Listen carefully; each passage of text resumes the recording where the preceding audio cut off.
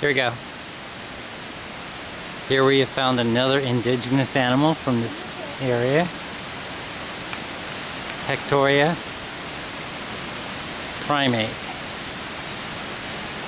If you walk up very closely to him, he won't be disturbed and he won't make noises like a chimp.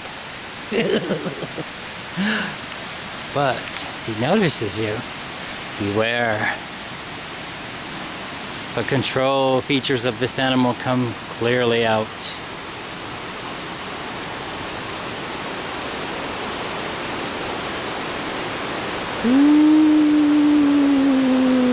The bridge is swaying.